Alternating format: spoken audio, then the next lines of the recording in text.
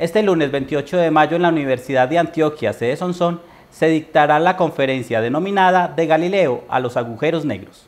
Esta conferencia estará a cargo del físico y PhD en astronomía Jorge Iván Zuluaga Callejas. Es una conferencia sobre astronomía abierta para todo el público, en el cual pues hacemos la invitación a todas las personas para que los acompañen y conozcan de una manera científica y divertida sobre los misterios que en ellas ocurren. Especialmente está dirigida para los niños, para los jóvenes y obviamente para los adultos amantes de la astronomía.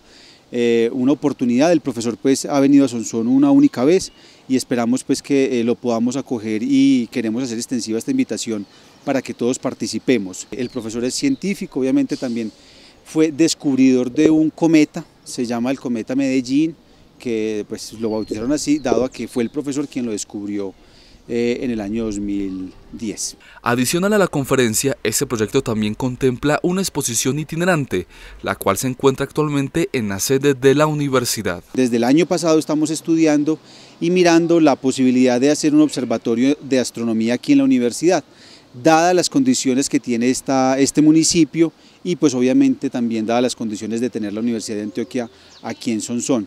La meta es que podamos conformar a futuro en el mediano plazo un semillero de astronomía, donde los profesores del Departamento de Matemáticas, escrito, donde está escrito el pregrado de astronomía, pues puedan venir y dar charlas más a menudo y capacitarnos.